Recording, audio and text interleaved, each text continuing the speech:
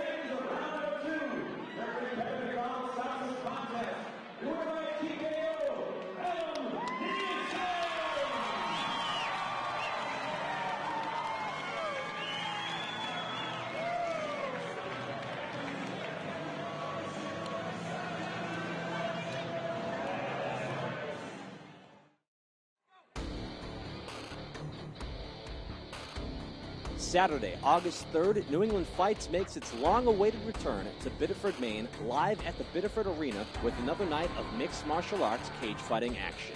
Be there to see top ranked middleweights Buck Nichols Pinal and Isaiah Queen, plus many, many more. For more information, visit NewEnglandFights.com.